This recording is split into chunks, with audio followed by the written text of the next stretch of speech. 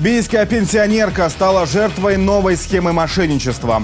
Все началось с того, что женщине позвонила незнакомка. Она представилась медицинским работником и сообщила о плохих анализах. Для подтверждения информации пенсионерке предложили связаться по телефону с краевой бактериологической лабораторией и заботливо продиктовали контактный номер телефона. О том, как долго продолжалась эта мошенническая комбинация и какую сумму в итоге за свое исцеление перечислила бийчанка, расскажем сегодня. Вы смотрите «Участок 112» в студии Евгений Плохотин. Здравствуйте! Сегодня в программе. Игра вне зоны и криминальные денежные потоки. В Бийске за незаконную организацию и проведение азартных игр будут судить 25-летнюю девушку. Шесть лет лишения свободы за огнестрельное ранение. Бийский городской суд вынес приговор по уголовному делу причинения тяжкого вреда здоровью. Выпил по дороге. Мужчина пронес мимо кассы 4 бутылки шампанского.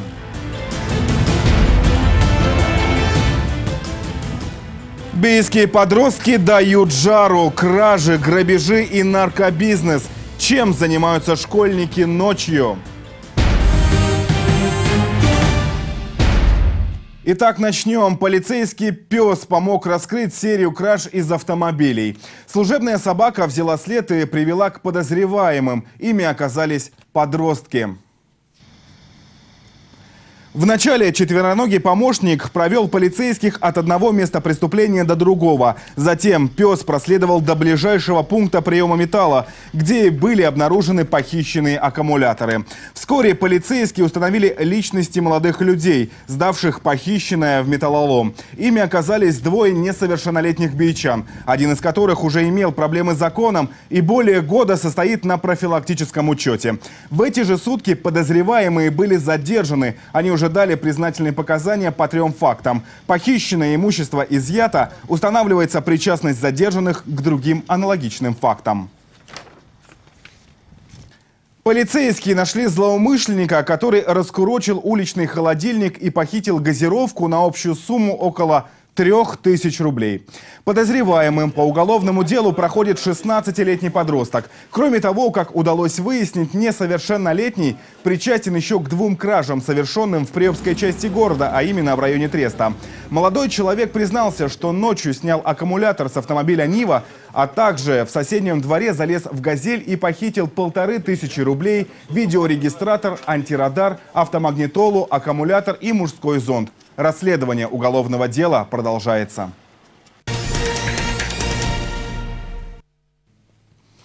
Шесть лет лишения свободы за огнестрельное ранение. Бийский городской суд вынес приговор по уголовному делу причинения тяжкого вреда здоровью. Инцидент произошел в начале февраля в частном секторе заречной части города. Произошел у нас скандал с, с человеком. Не знаю, как звать его чтобы разрешить наказать человека. Я съездил домой за оружием, приехал с ним разобраться. Его на месте не оказалось, оказалась его женщина, которая начала выхватывать у меня оружие и сама себя подстрелила. Бичане в этот вечер отдыхали у своих знакомых. Распивая спиртное, между двумя мужчинами произошел конфликт. Они начали оскорблять друг друга. Дальше разошлись по домам, после чего один из них взял ружье и вернулся на место, где продолжалась гулянка. Когда женщина увидела своего знакомого с ружьем, она попыталась остановить его. В этот момент и прогремел выстрел. У потерпевшей э, произошло э, э, ранение дробью, и в результате этого пришлось ампутировать левую руку выше локтя. Данные телесные повреждения относятся к тяжким, в результате чего лицо было осуждено к лишению свободы сроком на 6 лет лишения свободы. Доигрался с игристым вином. В Бийске сотрудники магазина попытались остановить мужчину, который мимо кассы пронес 4 бутылки шампанского. Продавцы требовали оплатить товар, но злоумышленник лишь прибавил ходу и покинул помещение. Задержать грабителя помог один из прохожих, который услышал крики продавцов. Вскоре на месте происшествия подоспели сотрудники частного охранного предприятия и полицейские. Все, посмотрел такой. Кого-то знакомого он увидел, еще обнимался там, стоял. Все, вот он подходит, берет. Сейчас пойдет сюда вот. В первой половине дня в продуктовый магазин зашел мужчина. Он ходил между витринами, затем подошел к стойке, где находилось шампанское, взял четыре бутылки и мимо кассы вышел из торгового зала. Кассир, увидев такого дерзкого покупателя, позвала на помощь напарницу. Поймать злоумышленника за руку помог прохожий. Добавим, что у задержанного удалось изъять лишь три бутылки шампанского. Одну он успел открыть и выпил прямо на ходу. По факту грабежа сотрудники правоохранительных органов возбудили уголовное дело. Задержанный написал явку с повинной. Кстати, камеры видеонаблюдения, установленные в офисах и на предприятиях, помогают полицейским оперативно устанавливать личности злоумышленников. Антигерой следующего нашего материала, наверное, даже было не в курсе, что его снимают, как он похищает электроинструменты. С заявлением в полицию обратились представители одной из частных фирм, которые, придя на работу, обнаружили, что ночью из офиса пропали пластиковые чемоданчики, где хранились два шуруповерта и перфоратор. Общая стоимость похищенного имущества составила 15 тысяч рублей. Установить личность подозреваемого помогла запись камеры видеонаблюдения. Здесь видно, как ночью в здание входит мужчина и буквально через минуту выходит обратно с тремя чемоданчиками в руках. Уже в эти же сутки полицейские установили личность и доставили в отделение подозреваемого. По факту кражи возбудили уголовное дело. Сейчас подозреваемый находится под подпиской о невыезде.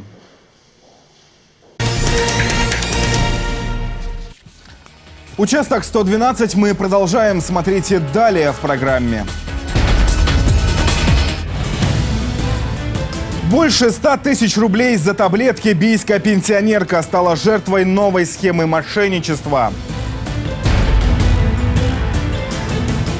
Игра вне зоны и криминальные денежные потоки. В Бийске за незаконную организацию проведения азартных игр будут судить 25-летнюю девушку.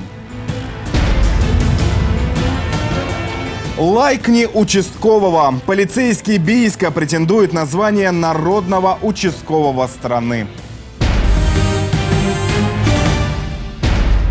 Итак, мы продолжаем. Бийская пенсионерка стала жертвой новой схемы мошенничества. Все началось с того, что женщине позвонила незнакомка. Она представилась медицинским работником и сообщила о плохих анализах. Для подтверждения информации пенсионерке предложили связаться по телефону с краевой бактериологической лабораторией и заботливо продиктовали номер контактного телефона. Пенсионерка так и сделала. Следующая участница мошеннической цепочки представилась заведующей лабораторией. Назвала женщине пугающий диагноз и сообщила, что есть возможность приобрести необходимое лекарство.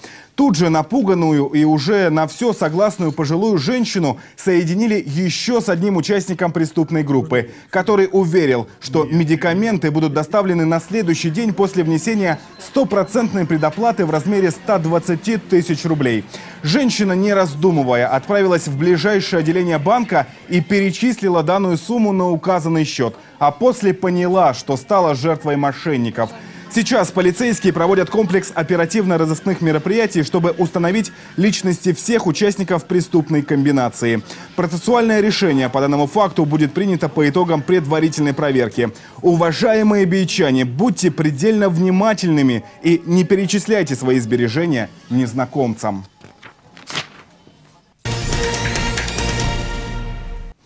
Замучила совесть, бичанин раскаялся в совершенном преступлении. Парень сам пришел в полицию и написал заявление, что подстроил дорожно-транспортное происшествие и незаконно получил деньги от страховой компании. Все подробности этого дела расскажет помощник прокурора Бийска Инна Шатабалова.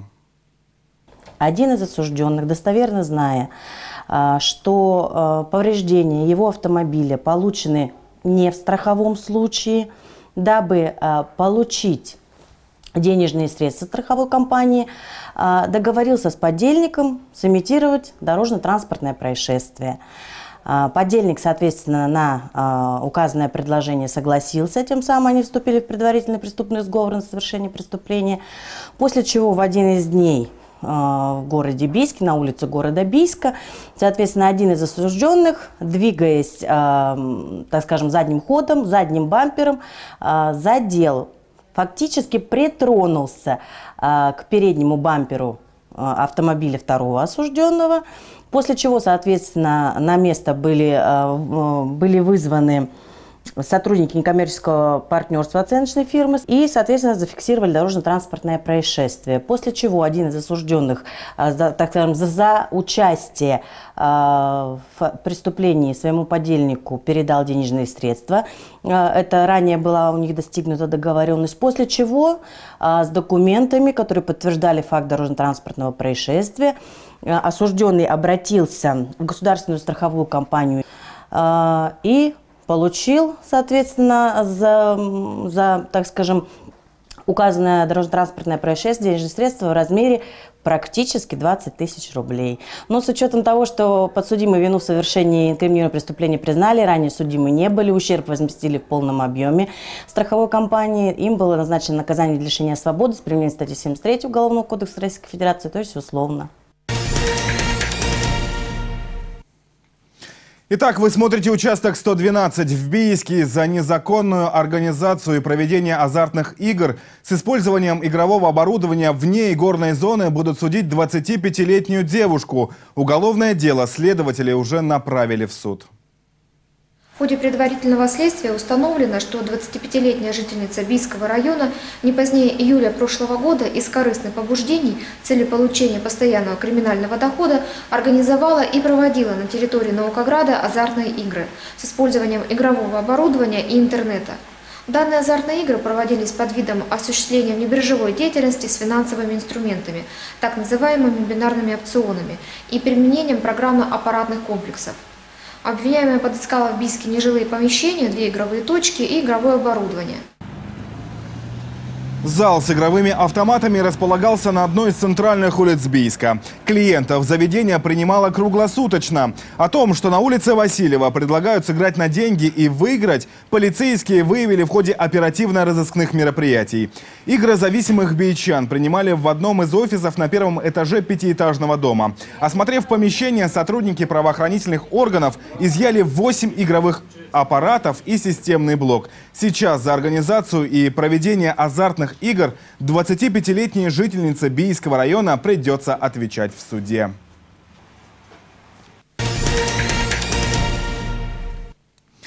Лайкни своего участкового. Бийский полицейский претендует на звание народного участкового страны. В нашем регионе сейчас проходит региональный этап всероссийского конкурса. Бороться за приз будут сотрудники правоохранительных органов из разных городов и районов края. Все они были отобраны из более чем тысячи претендентов. Лучшего участкового Алтайского края определит интернет-голосование. Лайкнуть своего участкового можно на официальном сайте Главного управления МВД. Межмуниципальное управление МВД России Бийское представляет Константин Толеров. Он участковый уполномоченный заречной части города. Конкурсанты, набравшие наибольшее количество голосов с 11 по 20 сентября, станут участниками второго этапа онлайн-голосования, который пройдет с 7 по 16 октября. Победитель будет представлять Алтайский край на всероссийском этапе «Народный участковый». Так что давайте поддержим бичанина, тем более, что Константин Толеров сейчас в тройке лидеров. Что ж, это все на сегодня. Не нарушайте законы, тогда он всегда будет на вашей стороне. Счастливо, увидимся через неделю. Пошел голосовать за Константина Толерова. Пока.